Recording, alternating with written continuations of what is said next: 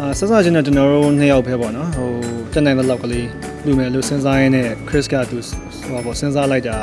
အာ fan တွေထဲမှာလည်းလူချင်းတဲ့သူတွေရှိနေတာပြီးတော့အာကျင်ညာလိုက်တာပေါ့နော် fan group တွေထဲမှာပဲဘယ်သူတွေလူချင်းကြလဲကျွန်တော်တို့ကလူဖို့ရှိတယ်ပေါ့နော်အဲ့မှာ အားလုံးကအဲ့မှာဝိုင်းထဲကြတာပေါ့ကျွန်တော်သုံးဖွဲ့ပေါင်းပြီးတော့ဟို Talking G Foundation မှာပဲလူဖြစ်သွားတာပါဟုတ်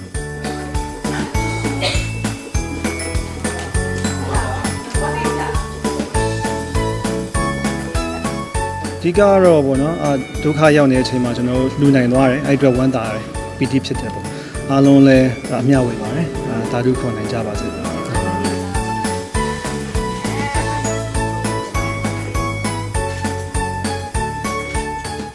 ဟုတ်ကဲ့ဟောပေါ့အားလုံးအမြန်ဆုံးကိုချရာပေါ်ကိုအမြန်ဆုံးပြန်ပြီးတော့ရည်တည်နိုင်ကြပါစေပေါ့နော်ကျွန်တော်ဆူတောင်းပေးတယ်ခု Talking G Foundation ကလည်းတကယ်ကိုသူက disaster relief ကိစ္စတွေမှာဆိုတော့အရင် experience ရှိတော့တကယ်လိုအပ်တဲ့နေရာတွေတကယ်ပို့ပေးနိုင်တယ်လေတခြားဖွဲ့လည်းရှိပါတယ်ဆိုတော့အားလုံးဝိုင်းပြီးတော့ကူညီ